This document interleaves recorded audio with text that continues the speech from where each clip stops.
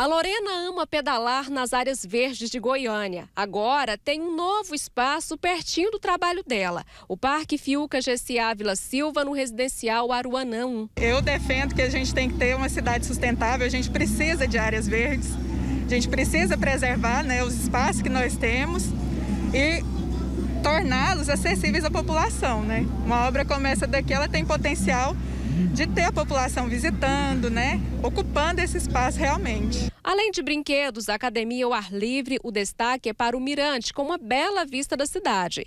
Na inauguração, também foi entregue um equipamento móvel que vai ser utilizado para medir a qualidade do ar de Goiânia. Ele ficará com a gerência de monitoramento da AMA. As medições feitas serão usadas como parâmetro para se cumprir normas ambientais.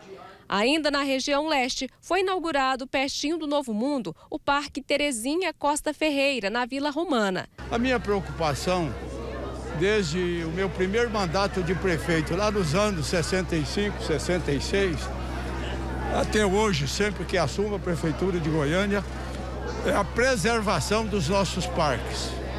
Nunca permitindo viu, que essa beleza que a natureza nos ofereceu seja depredado.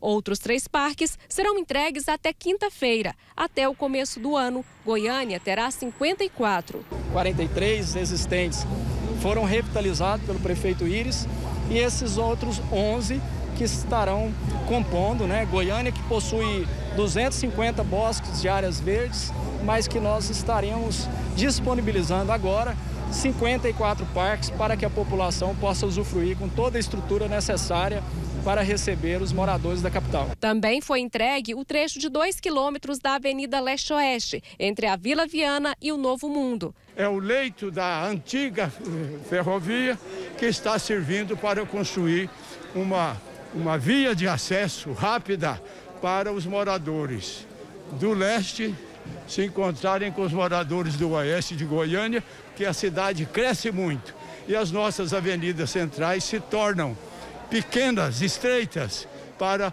o aumento da população e, consequentemente, o aumento de, de veículos. Ainda nesta semana, até o dia 31, estão previstas mais entregas: obras de pavimentação, CEMEIS, o um novo prédio da SMT e um centro de saúde.